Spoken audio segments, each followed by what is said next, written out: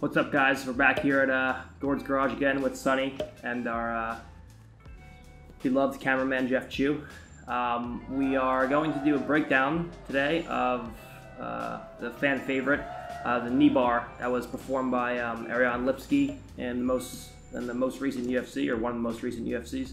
Um, we did a breakdown of Jack Hermansson versus Kelvin Gastelum uh, as far as what he should have as far as what he actually did versus what Kelvin actually could have did to uh, to avoid the Ashigarami and not end up getting submitted and staying in the pocket and going to punches or you know counter offense. Um, so hopefully you guys enjoyed that one. You can check it out. Uh, that one's already up. Uh, we're going to be uploading this one in a day or so. Um, as long as you guys keep giving me content to break down, I'll keep doing it. As long as you guys are enjoying this, I'll keep doing it and uh, we're gonna be doing a giveaway around 5,000 subscribers. So you know, you guys know I love giveaways. So let me know what you uh, what you want to see um, as far as me giving some stuff, some free stuff away. Maybe it could be a sweat rash guard. Yeah, a sweaty rash guard with fungus growing on it that's been sitting in my uh, in the back of my car for months. Um, but uh, oh yeah, this is pretty interesting because. Um, you're you don't really see too many leg locks in the UFC, but you are starting to see them a lot in the women's divisions. I think pretty sure Mackenzie Dern hit a knee bar. Um, there's been some people hitting toe holds. I think someone recently, I think it might have been Mackenzie, had the most uh, first toe hold in the women's division. Um, so you're definitely starting to see more leg locks in MMA, and especially in the women's divisions. Uh, women's divisions now coming up with the knee bars and the toe holds. So this is very interesting to see how uh, the progression of leg locks in mixed martial arts and specifically women's mixed martial arts. All right, so we're gonna go in. Um, we're gonna look at first initially how she triangled her legs and what um, and uh, her, how her opponent triangled her legs and what she did to actually extend the knee bar, and then we're gonna go into what her opponent should have did um, to start to get uh, start to get her off balance and how she should have triangled her legs. Okay, so you notice she was in a calf slicer where her opponent threw her leg to the outside and started trying to come in and pull her back into her and start going in for the calf slicer. Okay, now you have to understand that her opponent can, can finish a calf slicer uh, from this position, but because her legs are triangled on the inside, she actually exposes her own leg to a knee bar. And because she's in a calf slicer, she basically puts herself in a double trouble position where now she has no ability to roll out of the knee bar defensively because of this, uh, of this calf slicer. So if I extend her leg, for example, when she tries to move and switch the angle, her own leg in the calf slicer traps her in place. So if you look at the actual angle of what happened here, Ariane from here actually did something really interesting. So she stepped two legs up like so and started sitting back on her partner. Now notice, if I just try to pull her leg back straight towards me, just back heel strongly, and she brings her she brings her uh, her heel in. It's not an easy thing to pull the leg towards me. Okay, you can you can do it, but it's not an easy thing. So instead, what Ariane did was she put the knee to one side instead of having it directly in the center line. She put the knee to one side and she flared the heel out past the line of the knee, like so. This takes the leg out of angle. So now from here, when she went in wrist deep, when she went to go strong back heel, the leg's way out of angle, and it's easy now for her to go in and extend. And now from here, all she had to do was start to bridge into it and arch backwards and sit into her. She got a strong finish with a knee bar.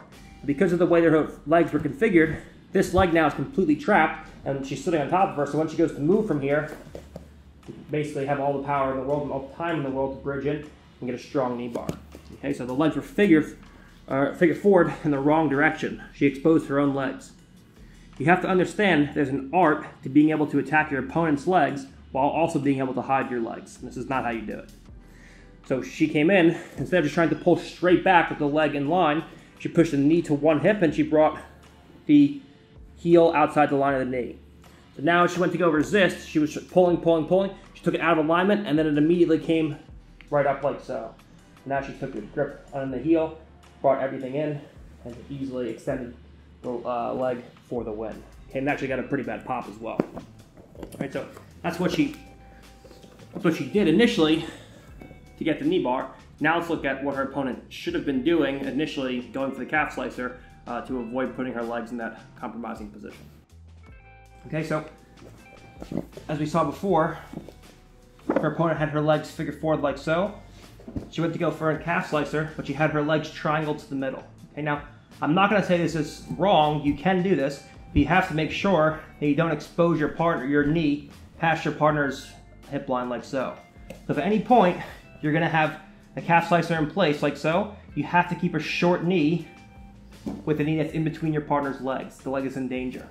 Okay, so whenever I have a calf slicer here, I can't extend my left leg and allow her to sit back on top of me. There always has to be a space between her hips and my hips. And I use a wedge of my knee to do that. So now when she gets to sit back and attack a knee bar, I can always bump her forward, get her hands to the floor, and then I can start sitting up and using this calf slicer to start going into either calf slicers here, or now she has no ability to sit back and when she goes to attack my leg now I can always open it. Or now we're in a very different spot. She's not on top of me anymore. She's forward with her hands in the ground. Or now I can go into the calf slicer or back kicks like so. Or worst case scenario, if she is going to sit back on top of me, so sit back, I triangle my legs to the outside. Okay, this is a this is a very good way that you can keep your legs relatively safe. Okay, she can still go and attack toe holds and things from here, but she's much lower percentage because she has no control of your leg. But this is one way that you can keep your legs much safer going for this calf slicer, having your legs triangled on the outside versus having your legs triangled on the inside. Because now there's no knee bar. So now I can even pull my partner back on top of me and you can start getting real calf slice damage here. Where now from here you can go in and start attacking your partner and there's no damage or there's no danger of her sitting into a, a very, very tight knee bar on you. Okay, and in addition, we can always bump her down towards the floor and use that to start coming up and going in for either uh, attacks on our partner's legs or attacking our, attacking our partner's back or switching off and going into attacks on our partner's other leg. Okay, so always have to remember whenever we have a calf slicer, from this position, we're most of the time looking to triangle our legs to the outside. And if we're not triangling our legs to the outside, it's absolutely imperative that we keep our partner off balance with their hands to the floor and we keep a wedge between my hips and my partner's hips. It's unacceptable for me to have my legs triangled to the inside and to have my partner's hips sitting back on top of mine. Just sit on me, like so. This is no good, because now this leg is gonna get exposed every single time we have to make sure that we have legs triangled inside, I have a wedge between my hips and hers. So when she goes to sit back and knee bar me, she can't. Now I can always off balance her, start getting her down to the floor, and start going into other various attacks in other various ways. Right? Hope that was sick for you guys. Subscribe! Alright, so hopefully you guys are enjoying this. Uh, it's pretty much been a learning experience for us. Let us know as far as anything you guys want to see, um, any suggestions you guys have to make.